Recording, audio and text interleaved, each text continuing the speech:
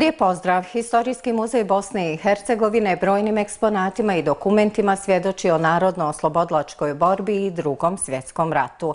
Najznačajniji dio obimne arhivske građe ovog muzeja su dokumenti sa zasjedanja Zadnobiha. Baštinik arhivske građe izuzetnog značaja i vrijednosti je i biblioteka Banja Lučke medrese. Dio starih rukopisa ove biblioteke su i nacionalni spomenik Bosne i Hercegovine. U hodu vjekova sjećamo se i nedavno preminulog doktora Kemala Bašića, uglednog člana Akademske zajednice u Bosni i Hercegovini. Ostanite s nama.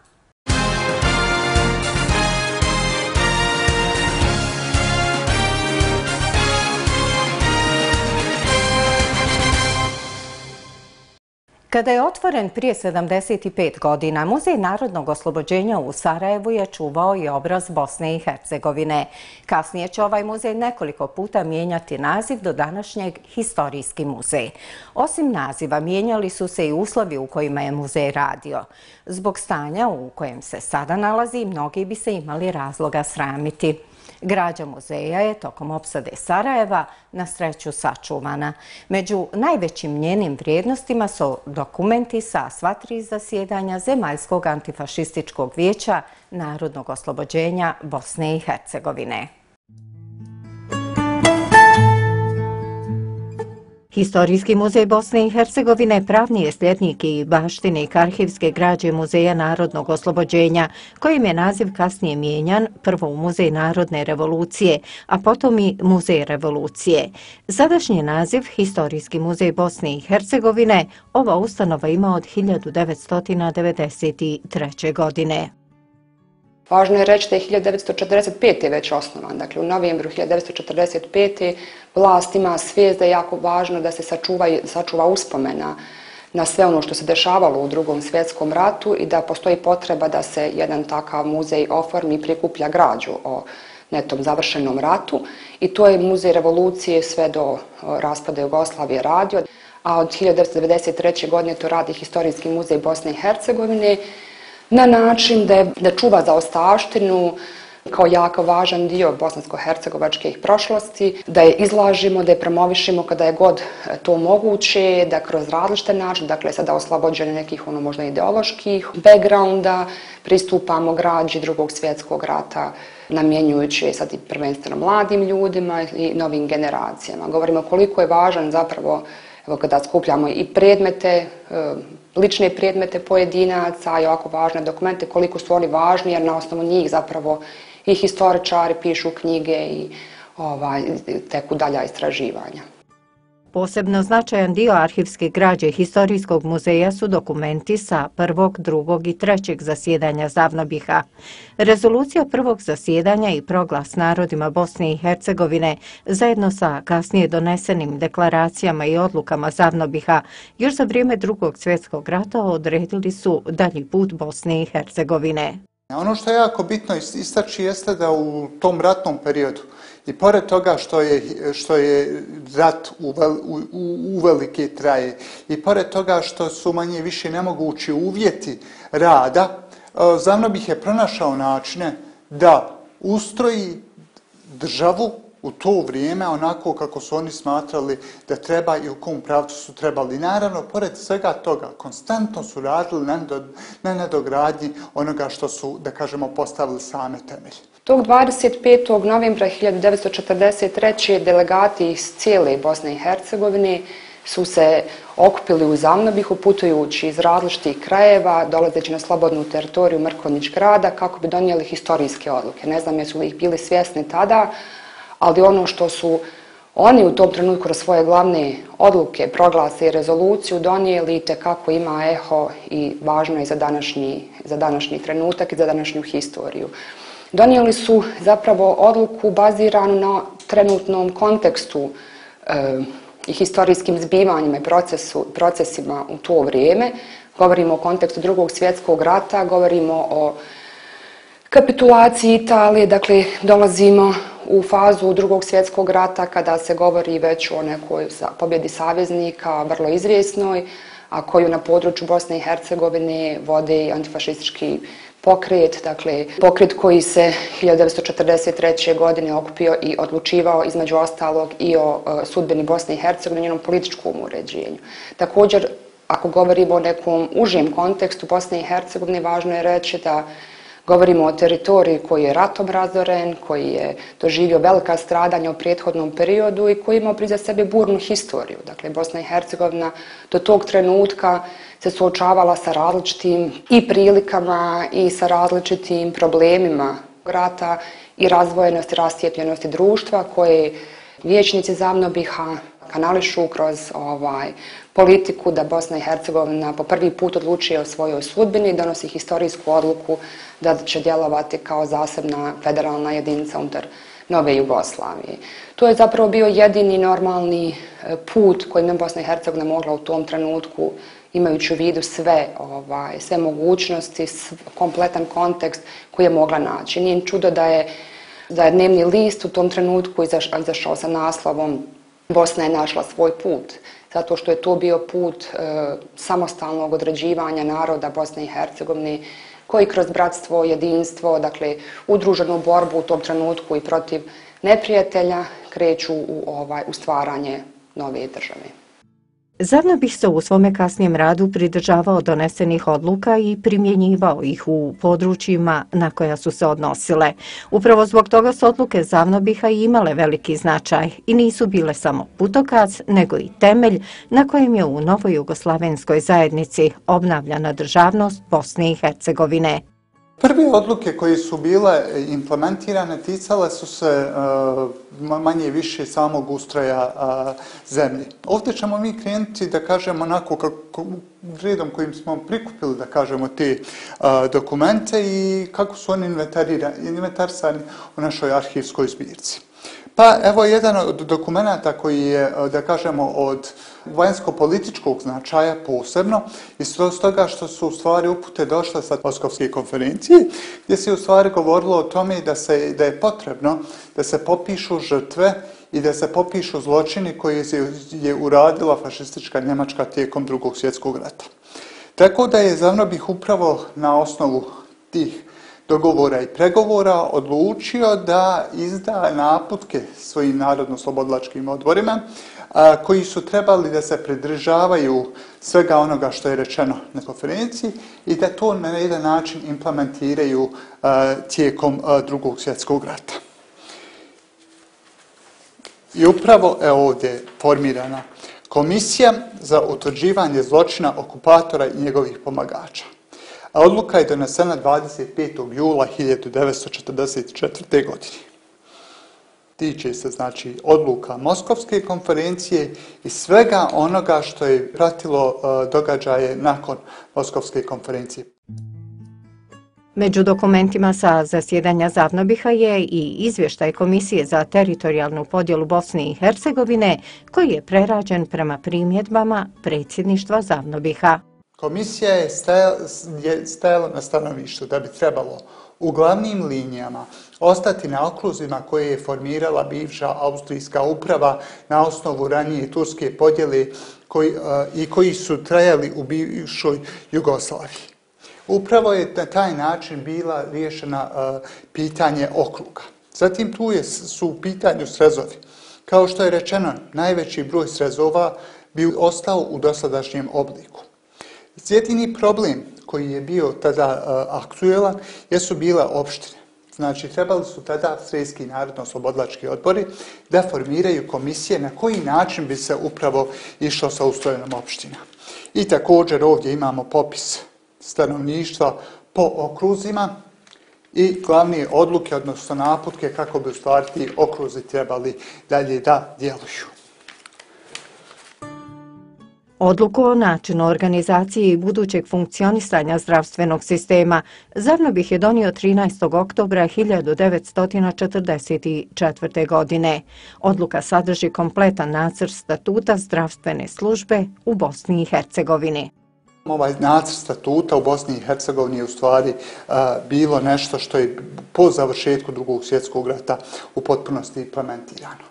Tu su traženi također podaci o samim bolnicama, koliko ih ima, koliko liječnika. Svi ti brojni popisi se nalaze u toj silnoj dokumentaciji Zavnobiha, jer su oni bukvalno radili detaljne analize o svakom od tih, da kažem, okruga.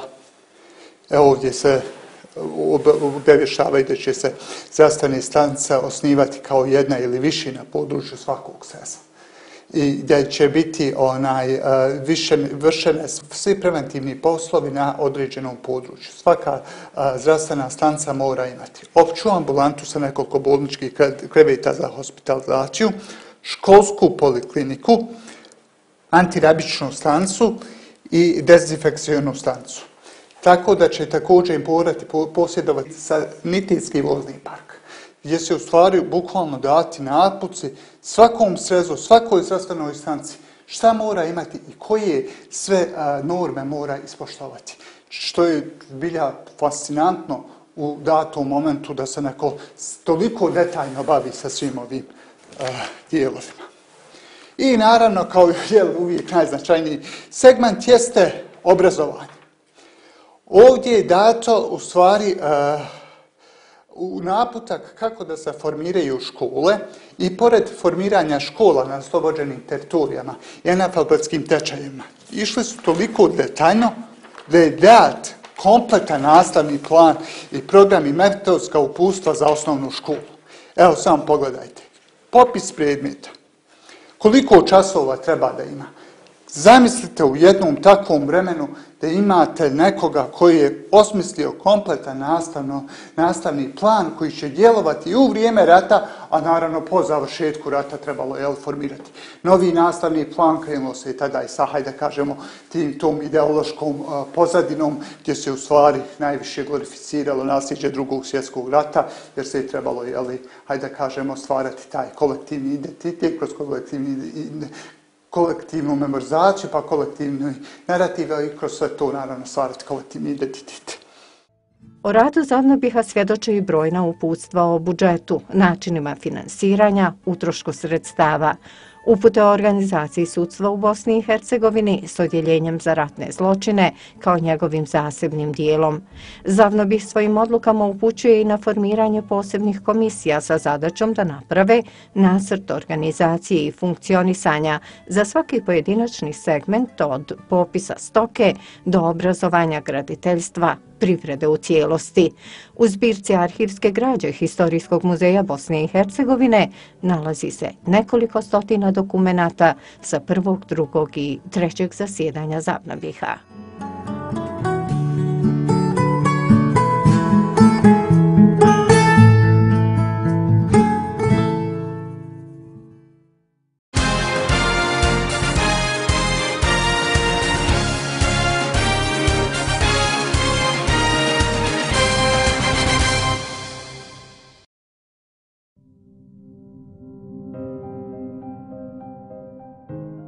Rijedak oblik dvojnog stečka pronađen je na nekropoli stečaka Žarkulja u selu Sajtovići.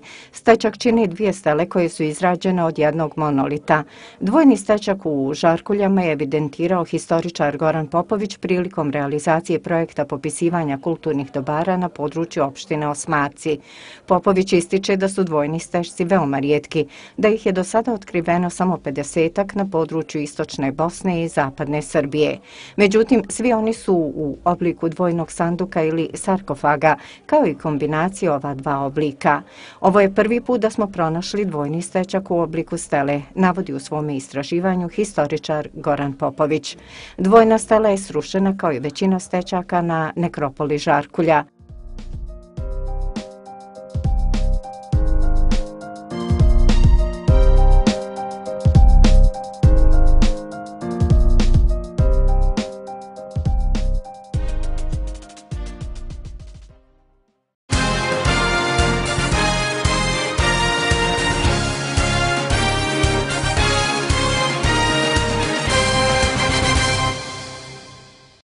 Tokom agresije od 1992. do 1995. godine u Bosni i Hercegovini su uništene brojne knjige, dokumenti i rukopisi, među kojima i neki koji su bili stari više stotina godina.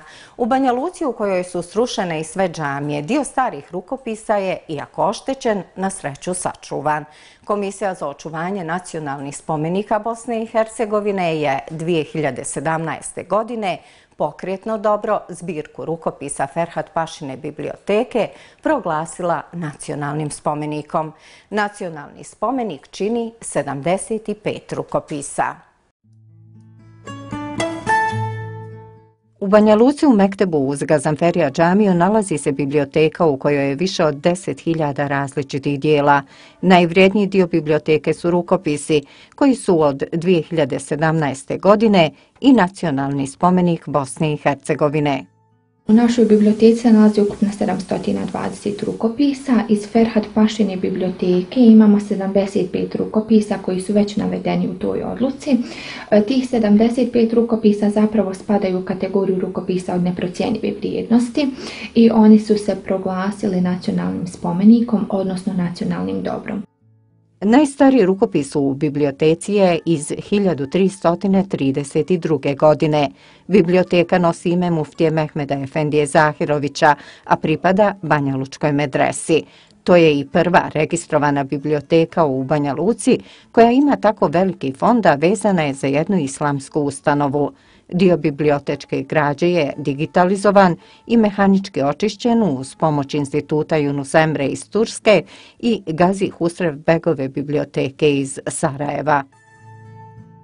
Sljedeći korak jeste konzerviranje i restauracija, obzirom da mi imamo dobru suradnju sa Gazi Husravbegovom bibliotekom. Mi ako Bog da planiramo da sve rukopise koji se kod nas nalaze u periodičnim uvjetima pošaljemo na restauraciju, konzerviranje koji će preuzeti njihov stručni tim. Se tiče rukopisa, u budućnosti mi planiramo skroz da ograničimo pristup tim rukopisima, odnosno da napravimo izložbu tih rukopisa, posebno oni koji ulaze u kategoriju najstarijih, kako kako bi se utvrdilo i uvidjelo zbog čega su oni zaštićeni, odnosno kako bi se ukazalo na njihovu vrijednost. Raritetni dio bibliotečkog fonda su i 150 starih štampanih dijela. U biblioteci muftija Mehmed Efendija Zahirović nalazi se i osam prepisa Kur'ana. Najznačajniji je prepis Banja Lučanina Muhamed Osman Kadića iz 1726. godine.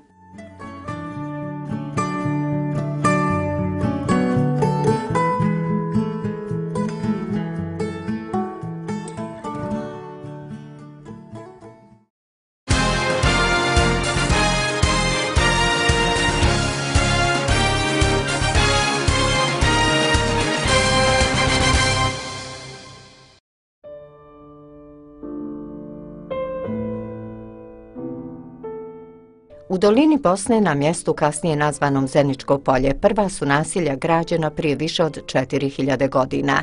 Među onima koji će u toj dugoj prošlosti nastanjivati ovo područje, bili su i Liri i Rimljani. Kada su u srednjem vijeku stanovnici Bosne i svoga naroda počeli birati vladare, Zarevsko-Zenička kotlina je bila jeskro te države. Zenički kraj je u tom periodu u historijskim izvorima spominjan pod nazivom Bored ili Brod. Pod sadašnjim nazivom Zenica se prvi put spominje 20. marta 1436. godine u dokumentu Dubrovačke republike. Nezavisna i jaka bosanska država u kojoj je najveći dio stanovnika slijedio posebnu vjeru različito od učenja katoličke crkve, bila je trnu oku mnogima. Kako bi smirio moćne neprijatelje i izbjegao rat, Ban Kulin se na Bilinom polju odrekao svoje vjere i prihvatio katoličanstvo.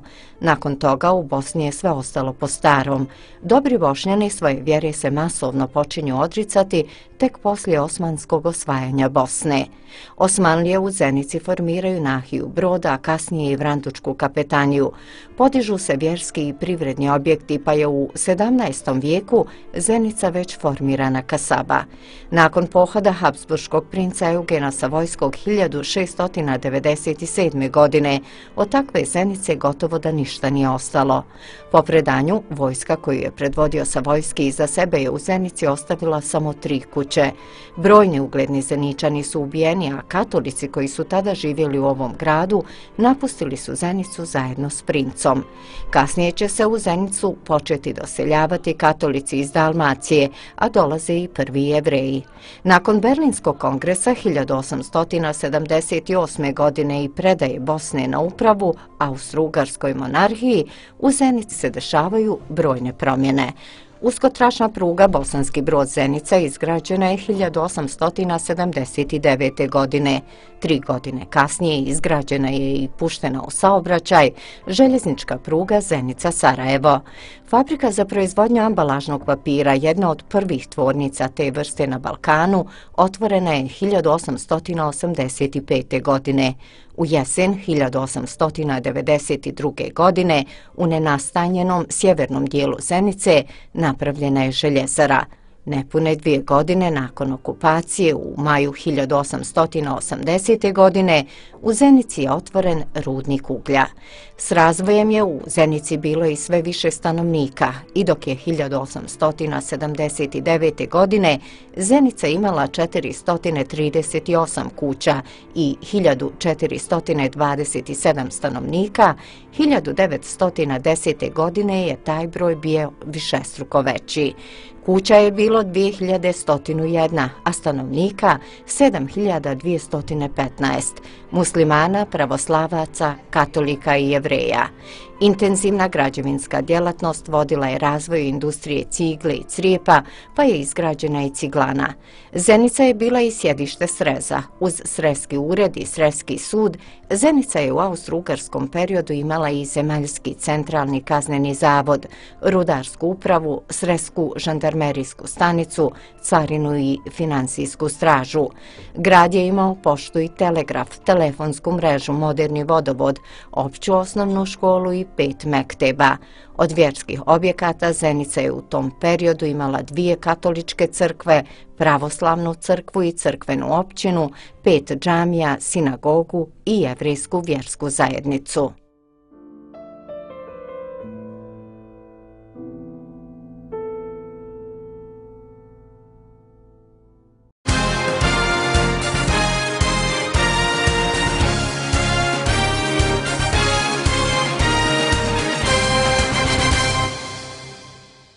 Dr. Kemal Bašić, član naučnog osoblja Instituta za historiju Univerziteta u Sarajevu, preminuo je 22. novembra. Rahmetli dr. Bašić je autor i koautor više knjiga i naučnih radova kao i prijevoda s turskog jezika. Dr. Kemal Bašić je i jedan od osnivača Centra za osmanističke studije u Sarajevu. Na ocijeku za historiju Univerziteta u Tuzli predavao je tokom dva semestra staroturski jezik.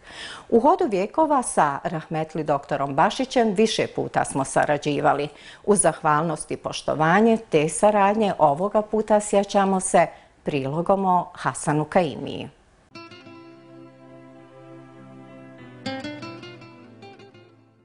Hasan Kaimija bio je jedna od najznačajnijih i najpoznatijih ličnosti u Bosni u 17. vijeku.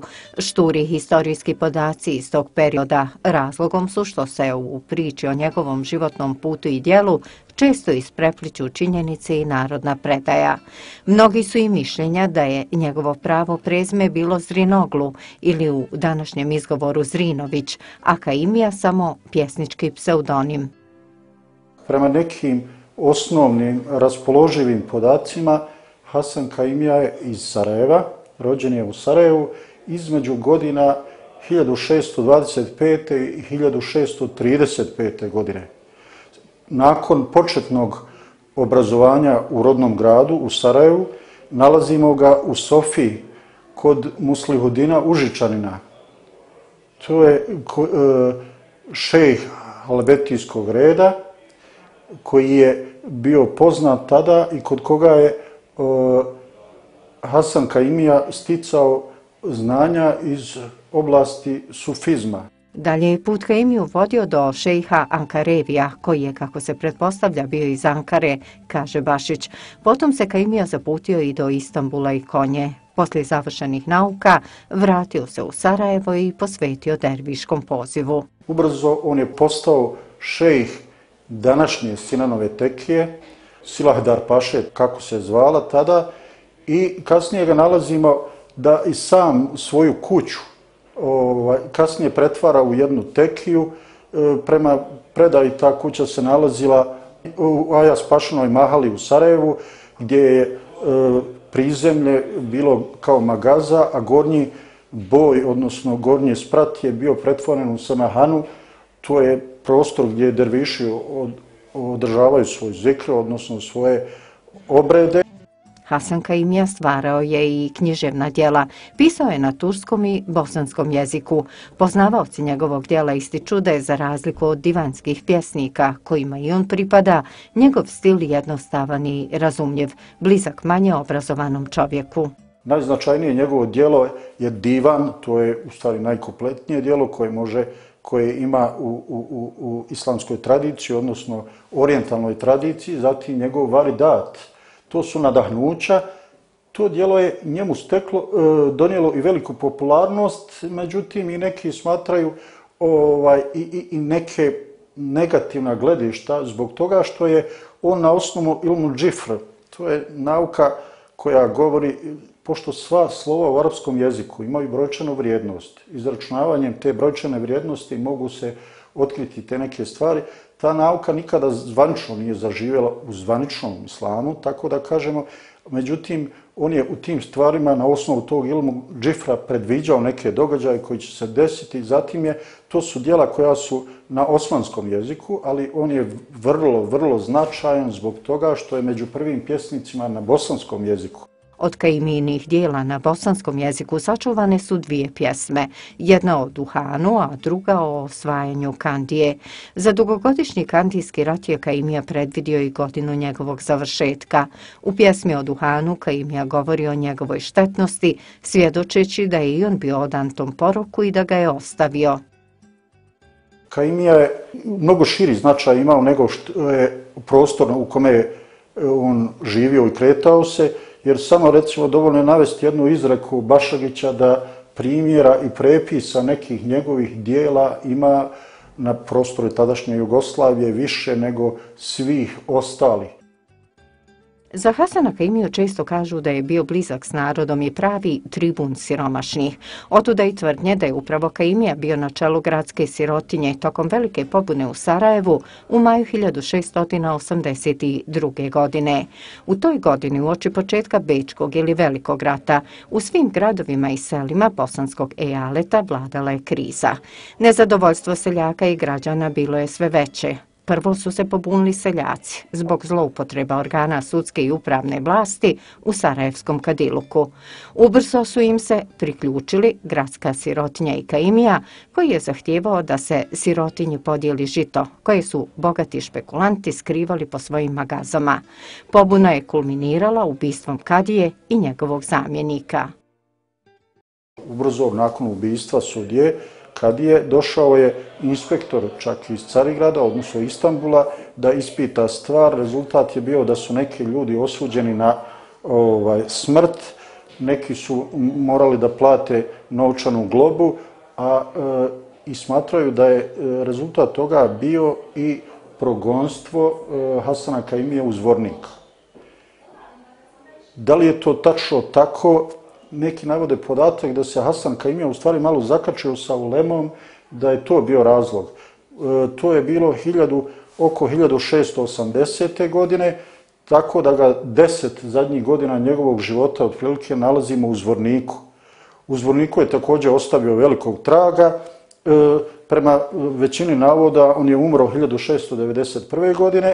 Zvornik je u to vrijeme bio važno središte osmanske vlasti, te nije slučajno da je Kaimija u njemu proveo ostatak života.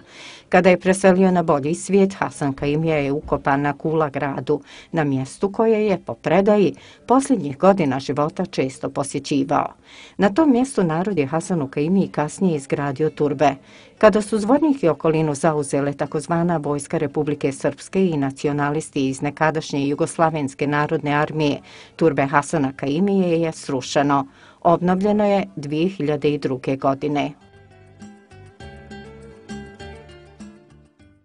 Hvala što ste gledali Hod vijekova. Lijep pozdrav!